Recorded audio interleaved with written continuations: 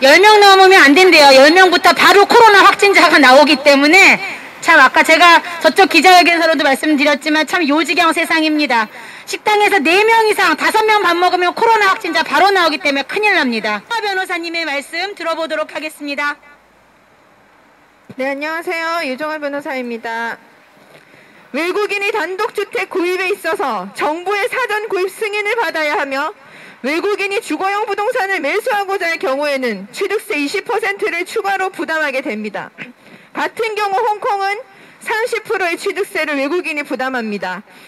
하지만 대한민국은 그러한 제약이 없어서 지금 중국을 비롯한 외국인들이 이 나라의 주거용 부동산을 쓸어 담고 있습니다. 국회 입법조사처가 2020년 발표한 외국인의 국내 부동산 취득 관련 쟁점과 과제에 따르면 2019년 12월 말 기준 외국인의 토지 소유 면적은 248.7제곱킬로미터로 공시지가 기준 약 30조 8천억 원을 넘어섰습니다.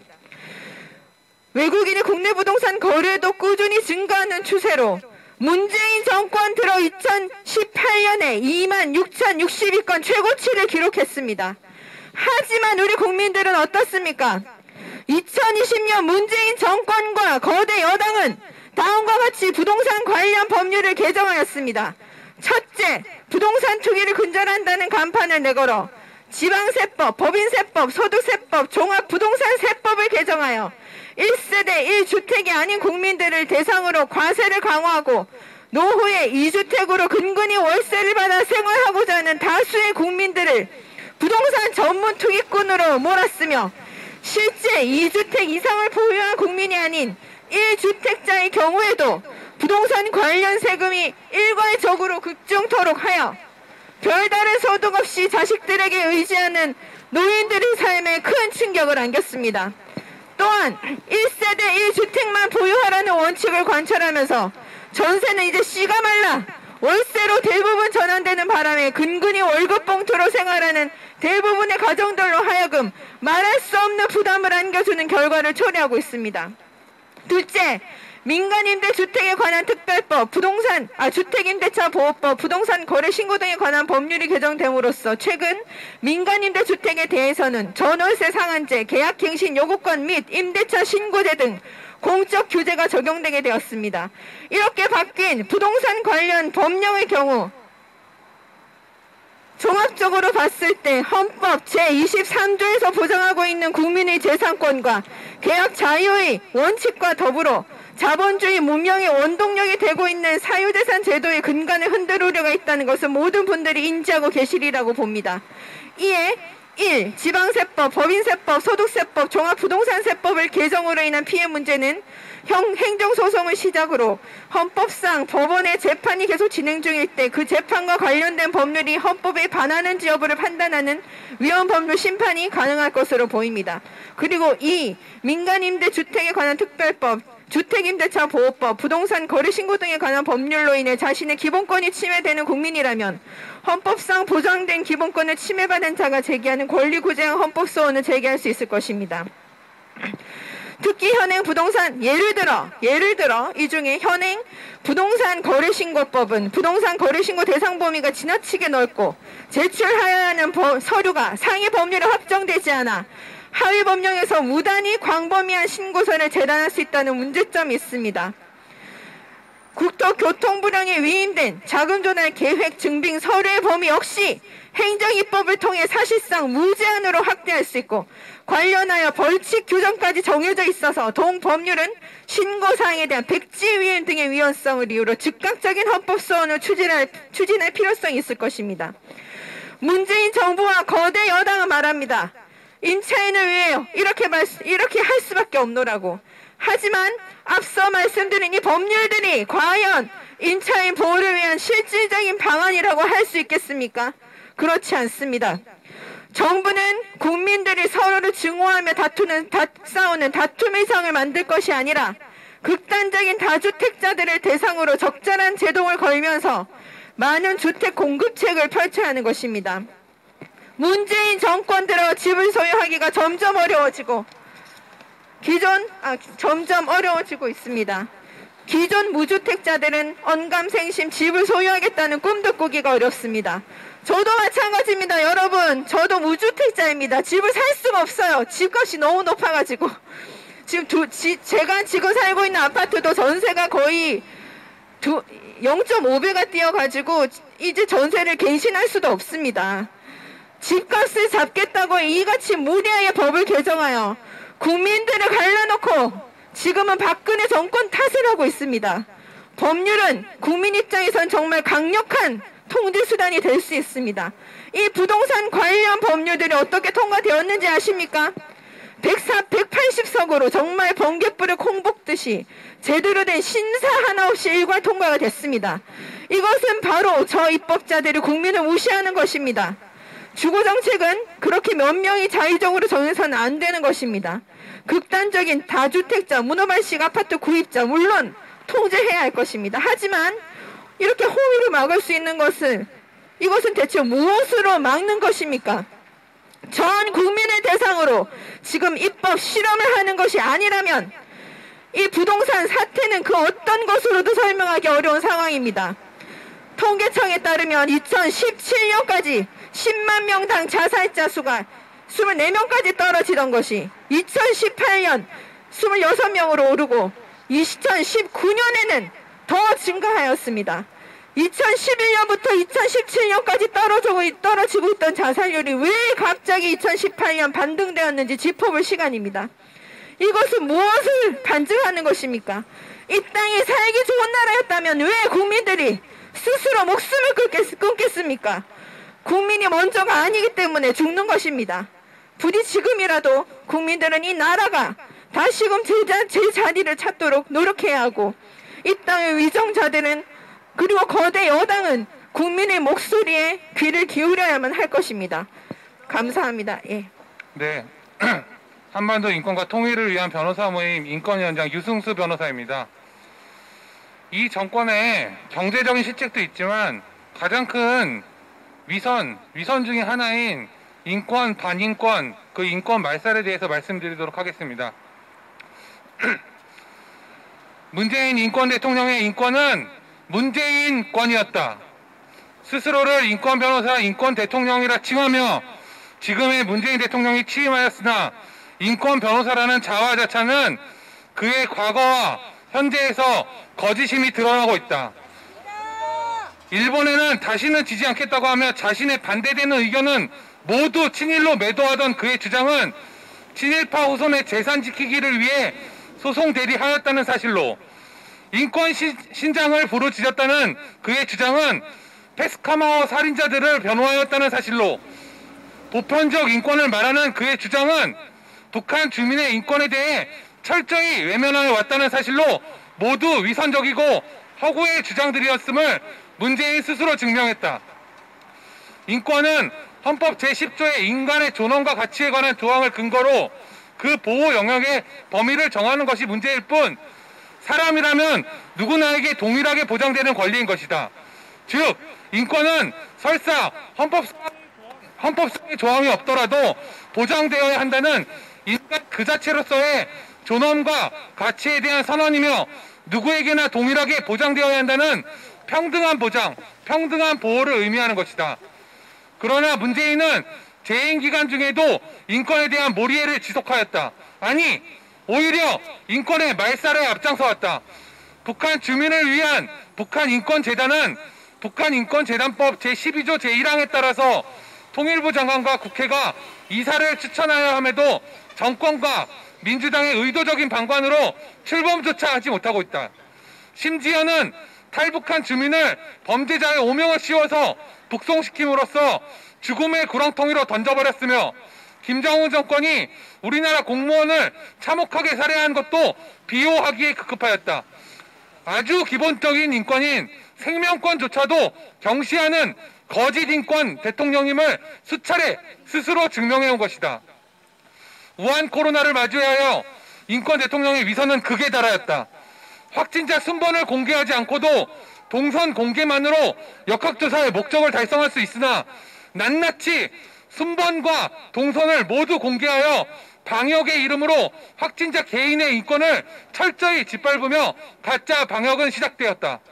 특정 종교 집단에게 우한 코로나 전파의 책임을 모두 뒤집어 씌우며 가히 마녀 사냥이라고 할 만한 야만적인 인권 탄압을 지속하였다.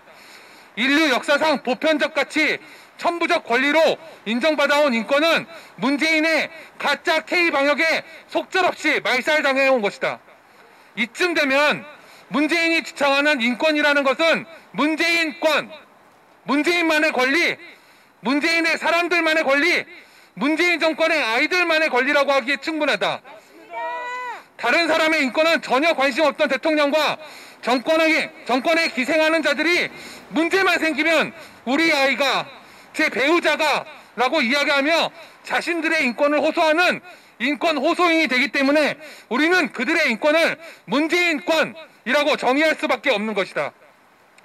인권 호소 대통령 문재인은 동부구치소 재소자 1100여 명이 우한 코로나 확진되고 그중 3명이 사망함으로써 그의 인권 호소는 여전히 거짓일, 수, 거짓일 수밖에 없다는 사실을 다시 증명했다.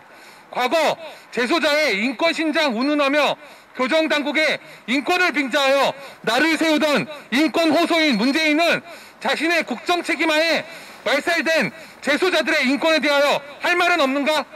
또다시 미안하다, 고맙다 라고 이야기할 것인가? 이와 같은 문재인 정권의 가짜, 가짜 인권 대통령의 거짓을 오늘도 우리는 이 자리에서 강력히 규탄한다. 이상입니다. 저는 자유 대한민국의 국민입니다. 저는 자유 대한민국 국민으로서 의무를 다해 왔습니다. 그런데 지금의 대한민국은 외국인들은 아무런 제약을 받지 않고 각종 특혜를 받으면서 부동산을 마구잡이로 사고 팔 수가 있다고 합니다. 우리는 자유 대한민국 국민인데 각종 제재를 받고 있습니다. 우리는 너무나 억울합니다. 도대체 왜 자유 대한민국 국민인 우리가 외국인보다 못한 대우를 받아야 한단 말입니까? 자국민을 먼저 보호해야 되는 것이 아닙니까? 오늘 이렇게 우리 애국자 자유 대한민국 국민들께서 기자회견을 한다 해서 저의 억울한 사정을 얘기하러 달려왔습니다. 남편과 저는 33년 동안 자영업을 했습니다. 남들이 쉴 때 제대로 쉰 적이 없고 좋은 명품 한 번 사본 적도 없고 애들 데리고 놀이동산 한 번 제대로 가본 적도 없이 정말 지독하게 근검절약하며 죽어라 열심히 일만 하였습니다. 자영업은 정말 힘이, 힘이 듭니다. 지금은 코로나로 정말 더 힘들고 죽을 지경입니다.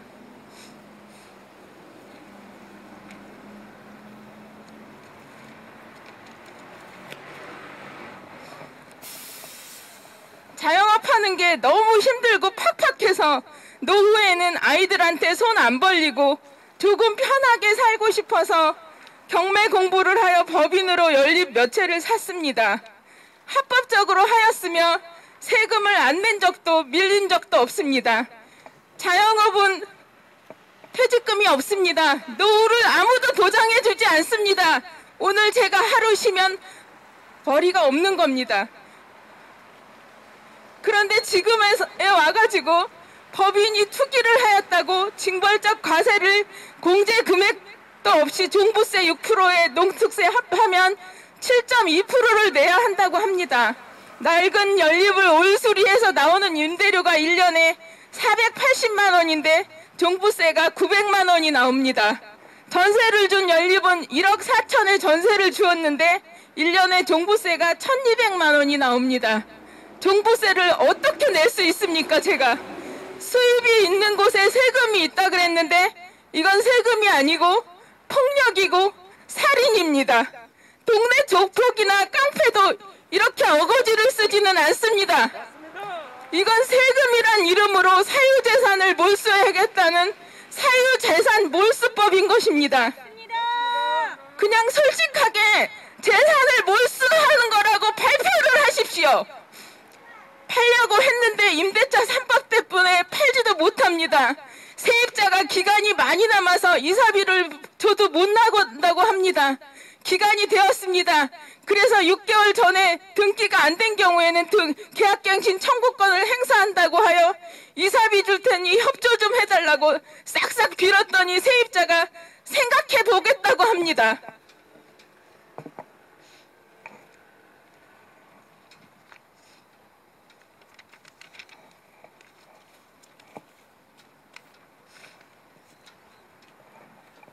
이사 비용을 주고 남은 세입자는 내 집에서 1년 이상을 공짜로 사는 격입니다. 오히려 저 세를 살면서 돈을 벌어갖고 가지고 나가는 거예요. 세입자한테 제가 의리돼 가지고 쩔쩔 매야 되고 세금은 각종 세금은 내가 내고 집수리고도 내가 해주면서 나는 도대체 뭔 뻘짓을 하는 건지 기가 막힙니다. 무슨 법이 이렇게 상식도 없고 말도 안 되고 한마디로 개떡 같단 말입니까? 이 나라는 세입자는 국민이고 임대인은 국민이 아닙니까? 실거주를 못하고 취득세가 8% 12%라서 살려는 사람이 없고 살려는 사람이 있어도 세입자가 때문에 팔 수가 없고 가지려고 가지고 있으려니 종부세가 어마어마하게 나오고 가지고 있을 수도 없고 이걸 어찌 해야지 될까요? 종부세를 뭘로 내란 말입니까? 지금 법인과 다주택자들은 임대사업자들은 살, 살 수도 팔 수도 가지고 있을 수도 없는 개미 지옥에서 하루하루를 살아가고 있습니다. 난 내가 뭘 잘못했는지 모르겠습니다. 바보처럼 너무 열심히 산 것을 그게 죽을 죄를 지은 겁니까? 태어날 때 가난한 건 죄가 아니지만 죽을 때 가난한 것은 죄라고 했습니다. 행복하게 잘 살아보고 싶어서 산 것이 죄입니까? 지금 정부는 우리 국민들한테 각종 세금 왕빨대를 꽂고서 쫙쫙 빨아서 우리 두 국민들을 말려 죽이고 있습니다, 여러분. 맞습니다.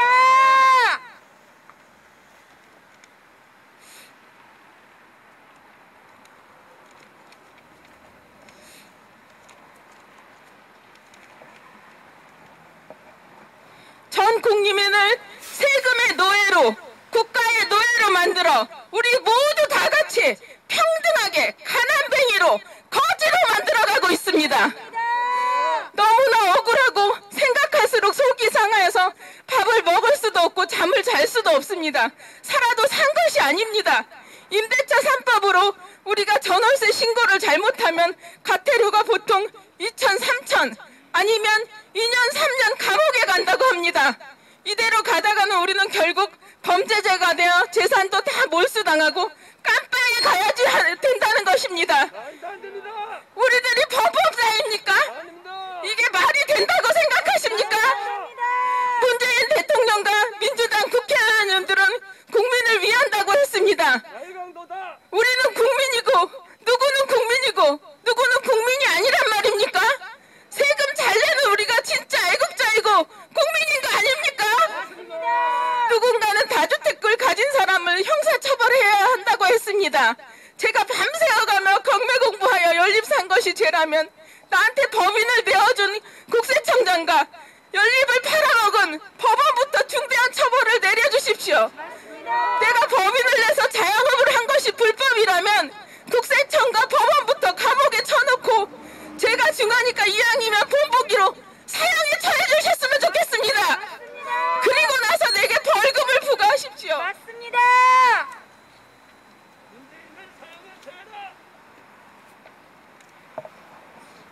우리들은 탈세를 한 적도 없고 세금 잘 내고 나라에서 시키는 대로 한 자, 영세한 자영업자이고 선량한 자유 대한민국 국민들이란 말입니다. 우리는 죄인도 아니고 적폐도 아니란 말입니다. 국가는 법인이 또는 개인이 주택을 사는 것이 죄라면 애초부터 주택 매매 금지법을 만들어서 온 국민에게 공포하고 알려야 할 의무와 책임이 있다고 생각합니다. 국민이 죄를 짓지 않게 하는 것도 국가의 책임이라고 생각합니다. 법인이 주택을 사는 것이 잘못됐다면 발표한 이후부터 벌금이 부과되지 사지 말라고 공표를 한 후에 적용되어야 한다고 생각합니다. 많은 국민들이 잘못된 부단, 부동산 정책으로 인하여 6.17 발표가 난 후부터 잠도 못 자고 먹지도 못하며 지옥 같은 나날을 보내고 있습니다. 이춘재 같은 살인자도 소금을 못하면서 왜 우리들한테는 소금을 합니까? 왜 소금 적용을 해서 세금 폭탄을 먹이시겁니까? 이대로 가면 33년 동안 자영업해서 죽어라 고생고생해서 마련한 내 피 같은 재산을 이대로 가면 33년 동안 자영업해서 죽어라 고생고생해서 마련한 내피 같은 재산이 몰수되는 것을 뻔히 알면서도 꼼짝도 못하고 팔라면서 임대사, 임대차 3법으로 인해서 세입자가 있어서 팔 수도 없다고요! 저는 나는 어떻게 살 수가 있습니까? 우리 국민은 자유 대한민국에서 행복하게 살 권리가 있습니다. 국민들의 행복할 권리를 아무도 빼앗아 갈 수는 없는 것입니다. 이렇게 사유재산을 마음대로 강탈할 수는 없는 것입니다. 반응이 없었고 사실은 오늘 법인 피해자께서도 어, 오늘 기자회견에 참석해 달라고 했을 때 너무나 실망이 돼서 아무리 기자회견을 해도 소용이 없고 진정서를 놓고 항의서를 제출해도 정부에서는 요지부동이기 때문에 오늘 기자회견에 참석하지 할지 알- 안 할지 모른다고 했습니다. 그런데 아까 말씀하신 것처럼 너무나 너무나 열불이 나고 사유재산을 강탈당하는 날강도 문재인 정권에게 말 한마디 못하면 그대로 죽을 것 같아서 이렇게 나와서 절규하지 않습니까? 문재인은 공산주의 사회, 완전히 사회주의 이념으로 인해서 대한민국의 모든 사유재산을 강탈해 가려고 하는 겁니까? 문재인 대통령! 사과라! 정말로 부동산 3법으로 인해서 우리 국민들이 역차별을 당하고 억울한 일을 당하는 게 너무나 많습니다.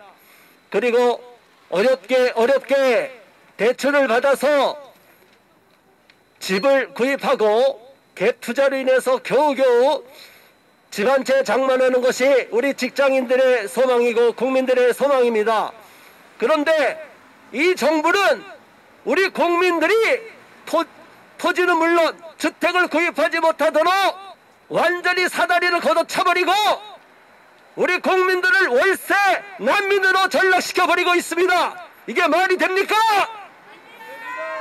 이런 날강도 정부 우리 국민들을 오히려 가난에 빠뜨리고 정부가 주는 그런 세금을 강제로 보상식으로 노예인간으로 만들기 위해서 피해 보상을 주겠다는 식으로 계속적으로 국민들을 기만하고 자기들 멋대로 멋대로 국민들을 이끌어가기 위해서 우리 국민들을 계속적으로 괴롭히고 연약한 월세 전세 난민으로 계속 전락시키고 있습니다.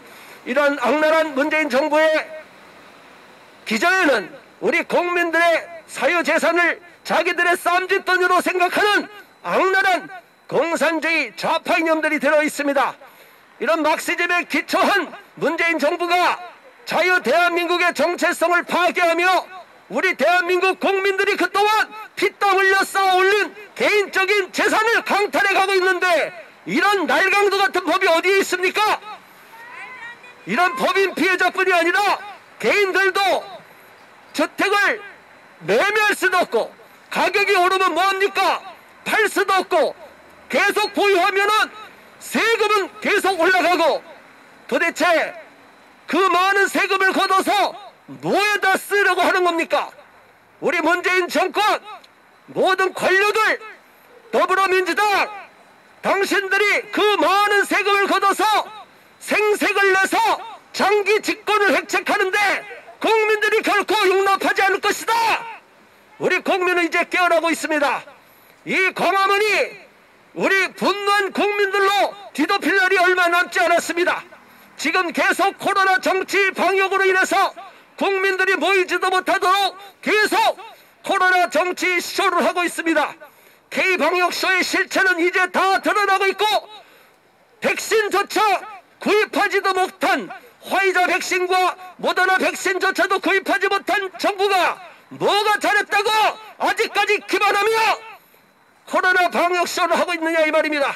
이제 국민 여러분께서 우리 국민 주권 행동을 비롯한 우리 시민 단체들이 이곳에 와서 절기하는 목소리에 귀를 기울여 주시기 바랍니다. 그리고 또한 우리는 국민 여러분들의 아픈 상처를 싸매 줄 것이고 우리 국민들이 외국인보다도 중국인보다도 대우를 받지 못하는 이 참담한 상황 내국노들이 우리 국민들의 주권을 뺏, 뺏기고 오히려 중국 4대 지 속국으로 전락시켜가고 있는 이 악랄한 내국 정책에 대하여 내국 부동산 정책에 대하여 결코 자시치 않고 국민들의 목소리를 대변해 갈 것입니다.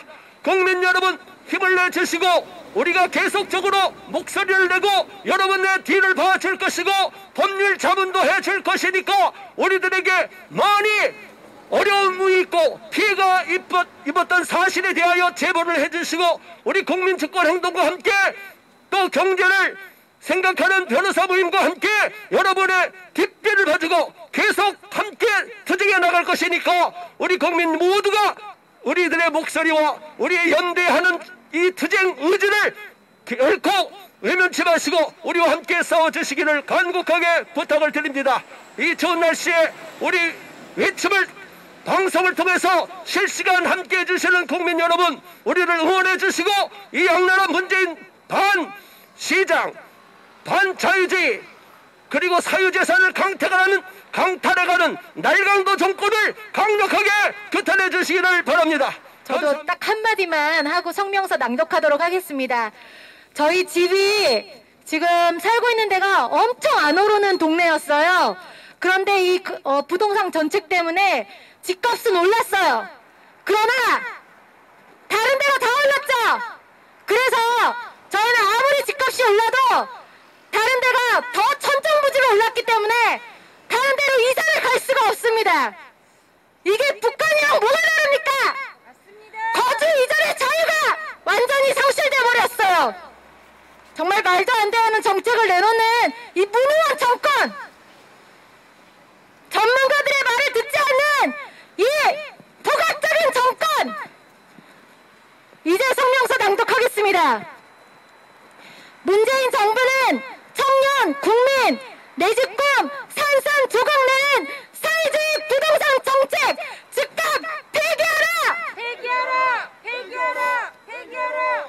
우리는 문재인 정부의 반시장적 사유재산 강탈 부동산 관련 입법을 강력히 규탄한다. 지금껏 문재인 대통령은 거수기 역할을 하는 더불어민주당을 앞세워 국민을 괴롭히는 정책을 남발해왔으며 국민보다 외국인을 더 우대하는 매국 정책을 펴왔다.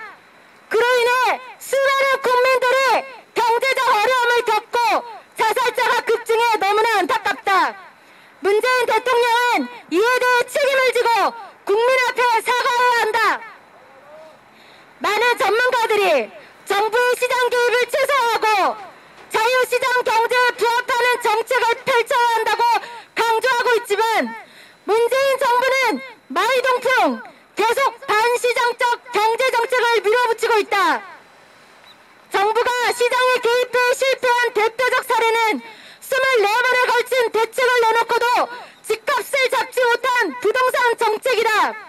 소득 주도 성장이나 주 52시간 근로제 등도 정부가 시장에 개입해 부작용을 낳고 있는 사례다.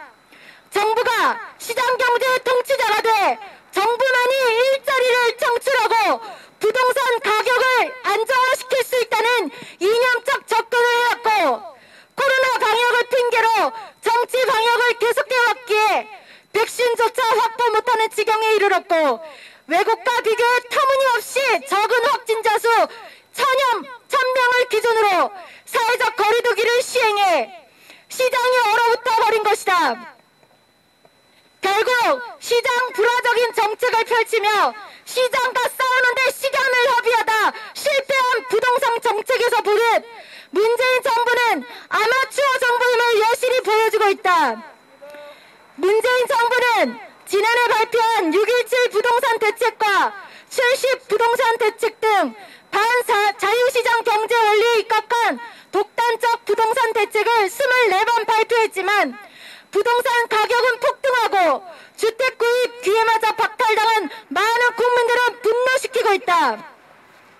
6.17 대책으로 무주택자가 규제 지역 내 주택담보대출을 받을 경우 전입 및 처분 요건이 강화돼 주택 가격과 관계없이 6개월 내 전입하고 1주택자도 6개월 내 기존 주택을 처분하고 신규 주택으로 전입해야 한다. 또한 3억 원이 넘는 집을 샀을 때 이전에 전세 대출이 있는 경우 남아있는 금액을 반납해야 하며 반납 못할 경우엔 주택 구매 위에 받았던 대출금을 반납하고 3년간 추가 대출을 받지 못할 수 있도록 규제했다. 아울러 70 대책으로 종부세를 현행 0.6에서 3.2%에서 1.2에서 0.6%로 늘렸고 양도세도 1년 미만은 40%에서 70%로 1에서 2년 미만은 기본 세율에서 60%로 증액시켰음에도 부동산 시장이 들끓자 공급 확대를 통한 시장 안정을 위해 8사 부동산 대책을 긴급 발표했음에도 시장의 반응은 싸늘하다. 더욱이 외국인들에겐 어떤 규제 조치 없이 자유롭게 주택을 구매토록 허용하는 자국민 약차별 정책을 펼쳐 국민 감정이 폭발하고 원성이 자자한 실정이다. 싱가포르나 홍콩, 뉴질랜드 등은 외국인의 주택 매입에 높은 세율을 부과하고 있는데 싱가포르 정부는 실수요자에겐 1에서 4%, 법인에는 최대 30%, 외국인에는 20%, 다주택자는 최대 15%의 추가 취득세를 부과한다. 홍콩 또한 2016년 11월부터 외국인이 부동산 취득 시 납부하는 인지세를 종전 8.5%에서 15%로 상정하고 상향하고 3년 이내 매각하면 특별 거래세 명목으로 매매가의 20%를 과세한다. 뉴질랜드도 2016년 한 해 동안 집값이 11% 급등하자 외국인 거주자의 주택 매입을 금지하는 법안을 2018년 통과시켜 외국인이 신규 주택을 구매할 수는 있지만 기존 주택을 매입할 수는 없도록 만들었다.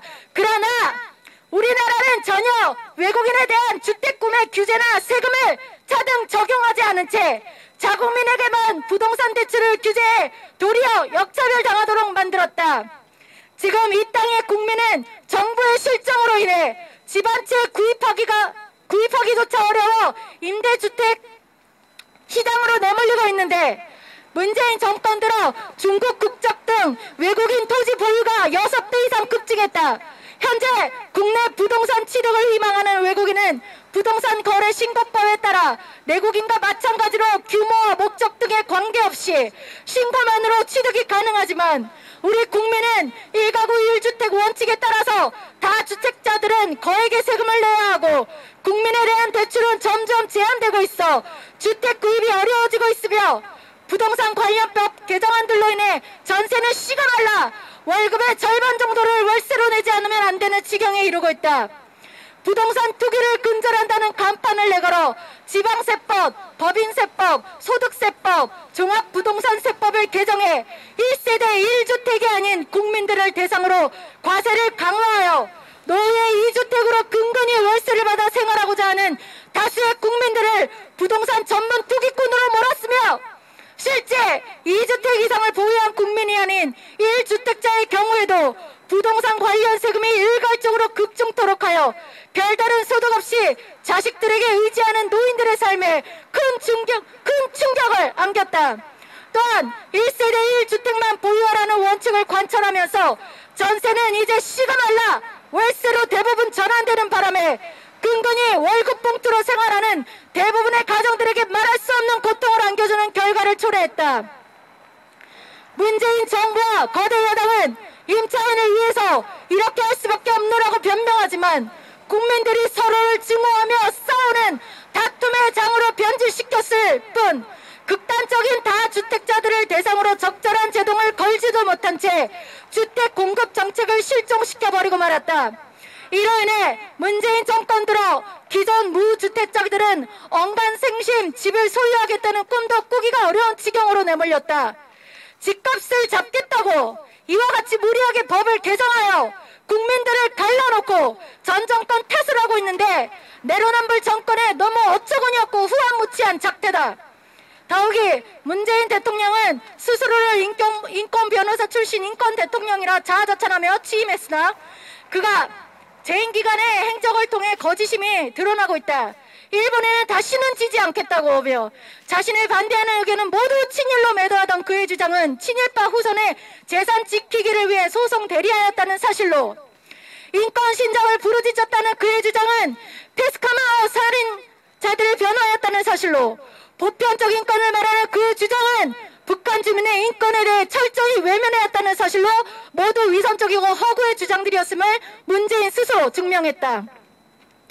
우한 코로나에 직면하여 인권 대통령의 위선은 극에 달하였는데 확진자 순번을 공개하지 않고도 동선 공개만으로 역학조사의 목적을 달성할 수 있으나 낱낱이 순번과 동선을 공개하여 방역의 이름으로 확진자 개인의 인권을 철저히 짓밟으며 가짜 방역은 시작되었다. 특정 종교 집단에게 우한 코로나 전파의 책임을 모두 뒤집어 씌우며 가히 마녀 사랑이라고 할 만한 야만적인 인권 탄압을 지속하였다. 인류 역사상 보편적 가치, 천부적 권리로 인정받아온 인권은 문재인의 가짜 K 방역쇼에 속절없이 말살당해온 것이다. 우리는 문재인 정부의 반인권적인 행태 그리고 반시장적인 사악한 부동산 정책을 규탄하며 속히 잘못된 방향을 수정해 올바른 정책으로 회귀하길 촉구한다. 그리고 즉각 법을 개정해 국민에게 주택 구입의 기회를 제공하고 세금 폭탄으로 고통을 겪는 국민의 눈물을 닦아주어야 한다. 아울러 외국인에게 무한대의 특혜를 주고 자국민은 도리어 역차별당하는 모순점을 개선해야 한다. 우리는 문재인 정부의 국민 사유재산 강탈, 사회주의 부동산 정책을 강력 반대하며 망국적 외국인 특혜 정책 및 사회주의 부동산 정책 폐기를 촉구하면서 다음과 같이 요구한다. 하나, 우리는 문재인 정부의 반시장적 사회재산 강탈 부동산 관련 입법을 강력히 규탄한다. 국민보다 외국인을 더 우대하는 매국 정책으로 수많은 국민들이 경제적 어려움을 겪고 자살자가 급증한 책임을 지고 문재인 대통령은 국민한테 사과하라! 사과하라! 사과하라! 사과하라! 하나, 우리는 많은 전문가의 의견을 묵살하고 마이동풍 계속 반시장적 경제 정책을 밀어붙이고 시장 경제의 통치자가 되어 있는 문재인 대통령의 부동산 정책을 강력 규탄한다! 규탄한다! 규탄한다! 규탄한다!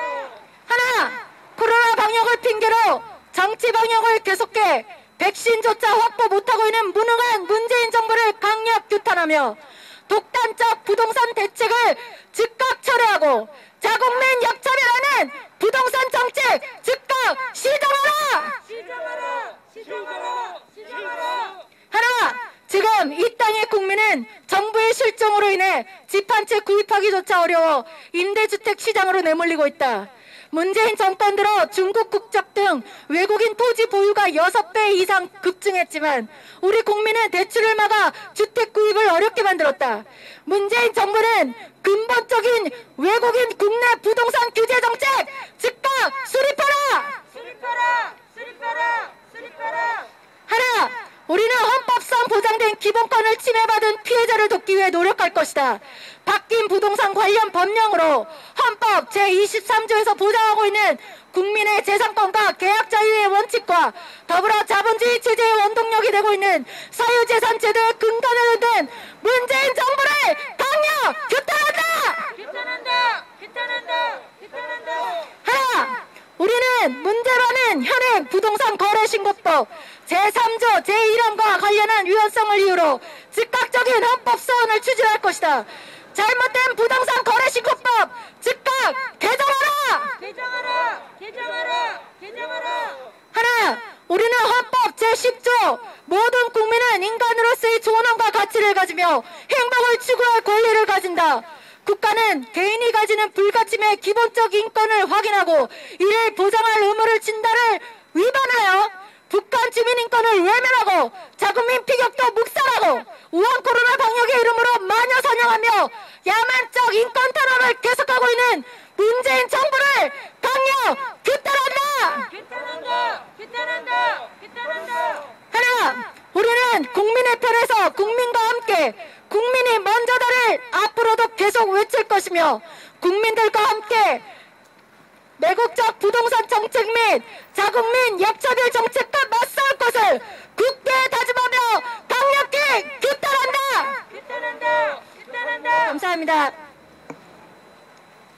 네, 감.